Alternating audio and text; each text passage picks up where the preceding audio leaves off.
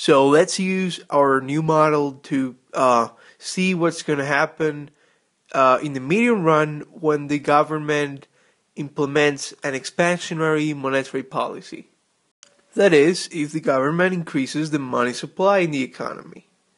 Remember that aggregate demand depends positively on the uh, real money stock in the economy. So, if the real money stock in the economy increases because the government decides to uh, do a an expansionary monetary policy, then that will increase income in the short run. That is, there will be a uh, shift to the right of the aggregate demand curve, which would look like something like this. In the beginning, we are at our medium run equilibrium, our potential output, but then the government shifts aggregate demand with the uh, monetary policy, uh, and thus, in the short run, it increases output. So, this boost in the economy provokes an increase in prices, which are not equal to the expected price level anymore. And the key here is that uh, in the short run equilibrium, output is bigger than potential output. So, since the economy has been expanded, the unemployment rate has gone down. And remember, over time, if the unemployment rate is lower, uh, then workers will have higher bargaining power. If they have higher bargaining power, then they will demand higher wages. And if they demand higher wages, then firms will face higher costs and they will transmit it in terms of higher prices of the products they sell. But the key here is that firms face higher costs. That is, there is a shift to the left of the aggregate supply curve.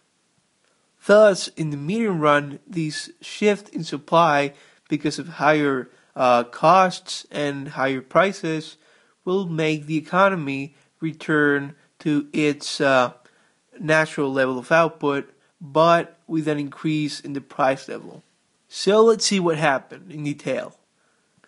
We first have this expansionary uh, shock in the money stock in the economy, which is basically a shift down of the LM, bringing up uh, uh, the output in the economy because uh, our interest rate is going down. That is, uh, investment goes up and uh, output goes up. But in the medium run, as wages rise and prices rise, uh, the the money stock, the real money stock, which is right here after the expansionary policy, uh, starts going down because actually, if prices increase, then the real money stock decreases, and it goes like that down. Then the interest rates that that had gone down that way will return to go up here.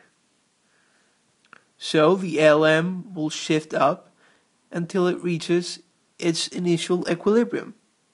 And the nominal interest rate will remain unchanged, and so will do the uh, output, which will stay at its uh, natural level. And this is exactly what's uh, shown at our uh, ASAD graph. So very important, uh, prices increase proportionally uh, with respect to the uh, initial expansion of the money supply by the government, and this will make uh, output return to the uh, potential output level, the natural level of output in the medium run. So we can say that in the medium run, this expansionary monetary policy has no effect on output nor an interest rate, but it does increase prices, so it brings up inflation. There is actually a name for that, that is the neutrality of money, at least in the medium run, because this expansion in the money supply uh, has not really increased the uh, the output in the economy, but it has increased prices. It has brought about inflation, which is a negative thing.